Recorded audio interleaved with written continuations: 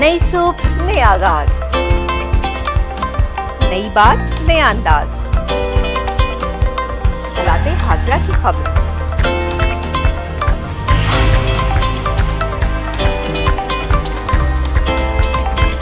इंसानियत, एहसास और जज्बात